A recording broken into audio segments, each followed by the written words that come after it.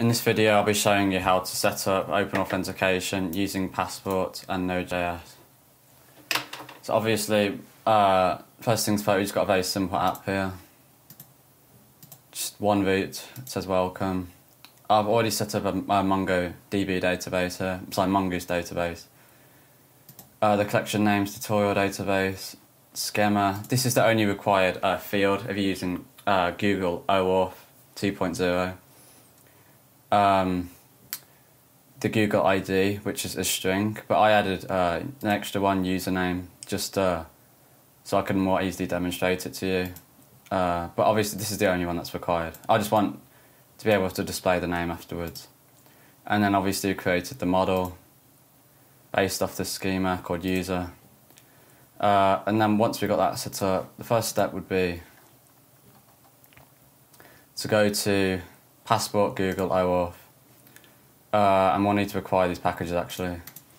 So we'll just install, first one will be Passport, npm install Passport, second one will be this one, uh, npm install Passport, Google O, OAuth 20, just install that real quick. And it needs to be, yeah. So yeah.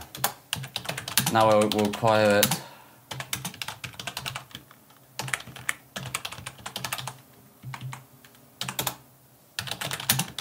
Uh, I always copy this actually. Const Google strategy. I'll post all the links, all the websites that I've used in the description. Okay, now will be to just copy that. I'll explain all this after, once we've done it. Uh, put it down here. Okay, and now we need to set up the actual, uh, we need to get the client ID and the client secret. So first of all, you set up, you go to Google Cloud Platform, set up a new project. First thing we need to set up the OAuth consent screen, uh, which you just do real quick. I'll just show you. I've already set it up, obviously, but you fill out app name, email. That's pretty much it. You don't need to define scopes or anything. You can just press OK on all that on all those things. Uh, and now we go to create credentials. Click create. I've already created it, so you click uh, OAuth client ID. You create that. I'll just show you real quick. And fill out all the information. This is very important, but because it's a local server. The first one, the first universal uh, resource indicator will be the the uh, the route that the user gets redirected to after they finish the authentication process, which will be this one here. The second one, which is the route that they go to to actually start the OAuth authentication process. So you fill that out here.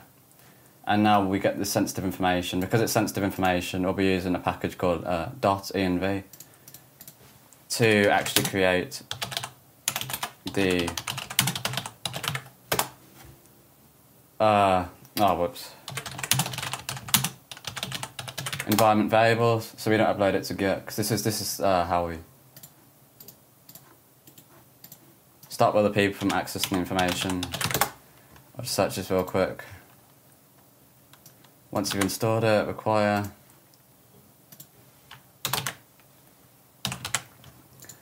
creates a new file just called .env client underscore ID equals what it is here. Client underscore secret equals what it is here. Okay, now we need to create a git ignore in the root file, start in the root folder. Just uh, dot git ignore put the .env file here. And now we, we can, we can uh, fill out the information. We access information using the process object. So process .env dot uh, client what we set it to. Let's copy this here.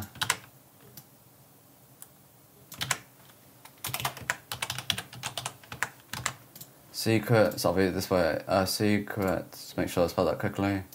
And now the callback URL will be the the, the route that the user gets to redirected to once they've finished the process. Once they've logged into their Google account, which we set there. And now, because this find uh, or create method here is not um, actually a built-in mongoose function, we need to actually acquire the package, which is here, so the dependency. So we'll just install this here.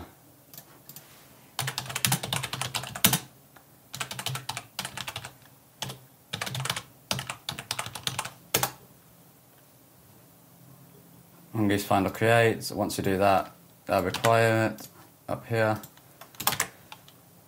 Uh, and then we actually apply the plugin to the schema. Sorry, this, whatever it's called, schema. So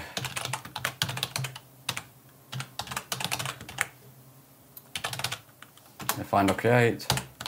And now this will work. So what this does is basically it gets the um, once they've logged into their Google account, it returns this profile object uh, and has a parameter of ID, and it matches.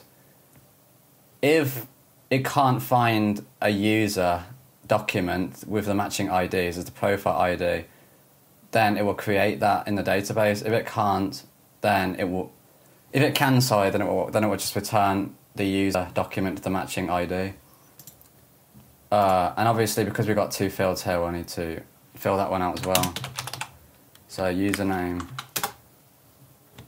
It's got display, uh, I think user, so profile dot display, yeah, display name. That's how you access the username from the, from the uh, user profile. So once we've done that, so the next step will be to uh, this is quite a good website. I use it for quite a lot. Uh, Actually, I think serialize and deserialize the cookie will be the next step, so we'll do that here. Copy this. Um, and then I'll explain this just in a second. So what this does, the user that's either returned or created here, it will get the ID from that and store it in a cookie, which we'll create in just a second. And then when we want to access the user object, it will, this function, the deserialize function, will be activated, and it will get the it will get the ID that's been stored in the cookie, match that, which is here, to the find the document that has the matching ID uh, as the one stored in the cookie, and then it will uh, return it so you can actually access the information that you want. But it will become a lot clearer when I actually implement it. Um, yeah, so now we need to create the cookie like I just said. So, and the package for that is npm cookie session.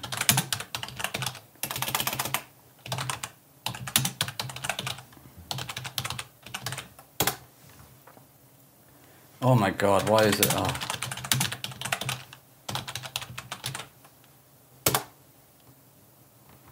There we go.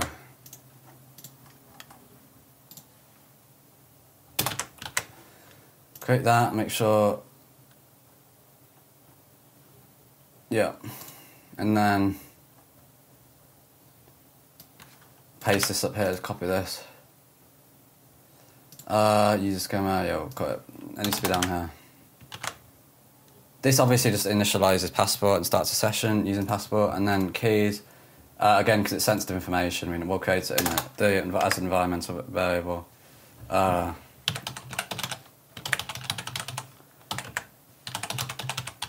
It can literally just be any string, it doesn't matter. We're not, you know, this isn't really serious, but put that in here.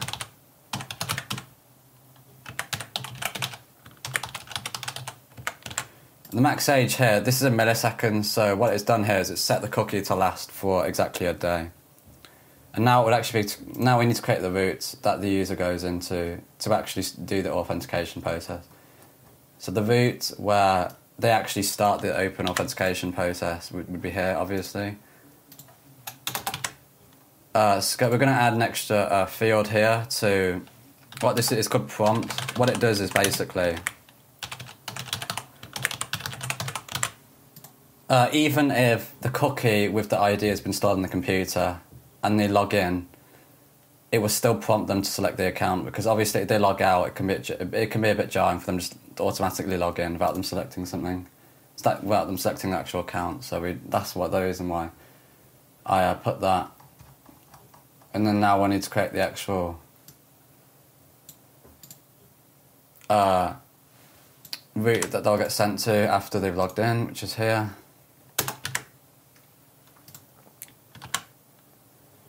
Oh wait, actually no, sorry. That's I don't know why it's router. I'm not entirely sure. Why? We'll just copy this for now, actually, and then we'll put an our own function here.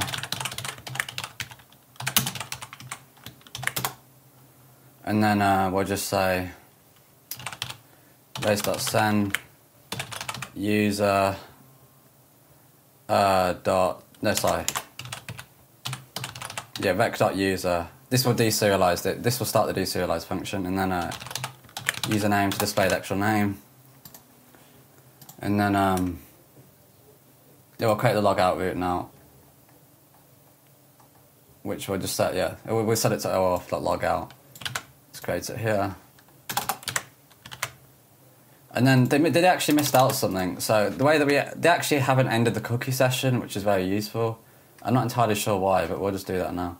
The way that you do that is req.session equals null, and then we'll send we'll say send the user because if the logout has been successful, then nothing then this won't be sent basically. But obviously, if we haven't logged out, then this will be sent. Okay, so just see if everything's working.